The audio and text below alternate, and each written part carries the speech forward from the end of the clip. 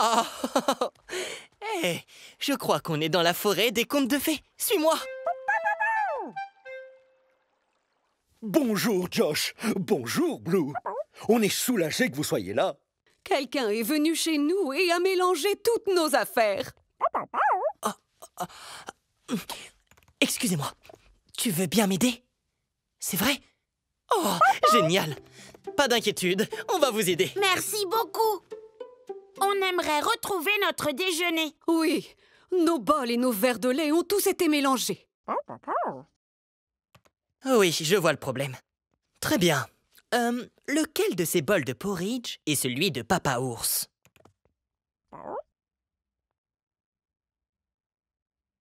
Le plus grand. Ah, mais oui, c'est le mien. Merci beaucoup. Oh Bravo, bien joué Bon, et maintenant, lequel de ces bols de porridge est à Maman Ours? Le bol moyen. Eh bien ça alors, mais oui, c'est bien mon bol de porridge. Miam, ça sent bon. Oui, c'est vrai. Bravo, tu as trouvé. Ah, ne m'oubliez pas. Oh, euh, est-ce que tu vois le bol de porridge de Petit Ours? C'est le plus petit. Ah, mais oui, c'est mon bol de porridge. C'est le tout petit. Oh, merci beaucoup. Et tu peux nous aider à trouver nos verres de lait? Tu veux bien m'aider? Oh, Merci, génial. Hmm, très bien. Alors, quel verre de lait appartient à Maman Ours?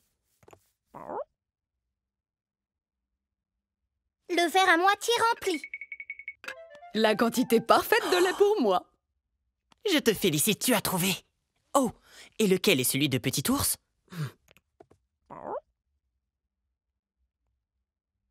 C'est le plus petit. Le lait va m'aider à devenir grand et fort, comme papa ours et maman ours. Oh. Oui, hmm, très bien. Alors maintenant, lequel de ces verres de lait est celui de Papa Ours? Le plus grand. La quantité parfaite de lait pour Papa Ours. Merci, infiniment. Mais de rien. Dis donc, on n'a toujours pas trouvé quelle était l'histoire préférée de Blue. Il nous faut un dernier indice. Au revoir. Au revoir. Viens, Au suis-moi. revoir. Un indice? J'ai bien entendu, tu as vu un indice? Où ça? Derrière toi. Oh Mais oui, ce petit cochon a une empreinte de Blue sur lui. C'est sûrement un des indices de Blue. Et de quoi a-t-on besoin De notre joli et très utile Bloc-notes. bloc-notes exact. Hmm, très bien. Donc notre troisième indice est un petit cochon. Je dessine d'abord le corps, arrondi comme ça. Hum, hum, hum. Le groin. Les yeux. Des lignes droites pour les pattes, comme ça.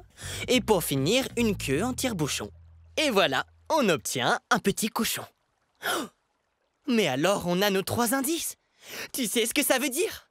Ça veut dire qu'on est prêt pour le... Fauteuil à idées. Oui, le fauteuil à idée. Bon, eh bien, allons-y. Oh. Oh.